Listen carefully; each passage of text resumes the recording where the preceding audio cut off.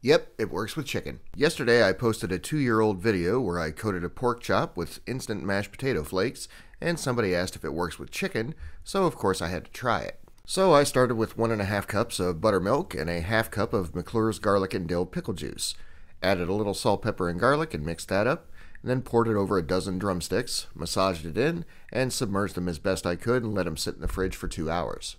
Then I added three drumsticks at a time to a gallon Ziploc bag with Idahoan loaded instant potato mix and shook it up to give them a nice coating. I loaded up the air fryer with as many coated drumsticks as it would hold and turned it on at 395 for 19 minutes, turning them over halfway. While those cooked, I emptied a bag of frozen mixed veggies into a bowl, added half a stick of butter and a bunch of pepper. Then I covered it up and tossed it in the oven at 375. It's all about the timing, really, but let's check and see how the chicken did. Looks pretty dang tasty to me.